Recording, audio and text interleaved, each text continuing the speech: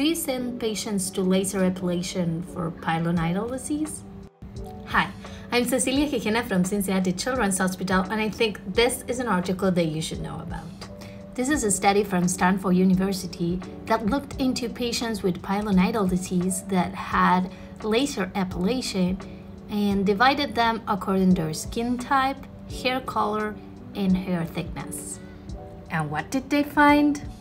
They had 198 patients, and the mean sessions they needed to achieve a 75% of hair reduction depended on their skin type and went from 4.8 to 6.8.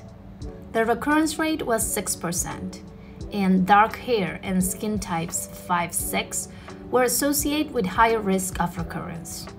So let us know what you think and stay tuned for more articles that you should know about.